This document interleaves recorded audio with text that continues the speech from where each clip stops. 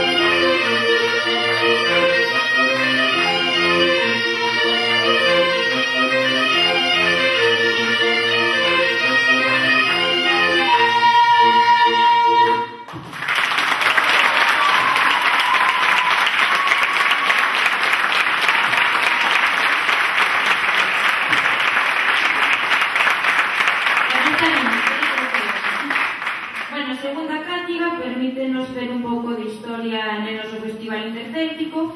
Vamos recordar a formación solos, que actuou fai na praia de Murallo, tocando, tocando unha peza súa xuntida a unha canción tradicional belga. Nesta vais incorporar Luís, o noso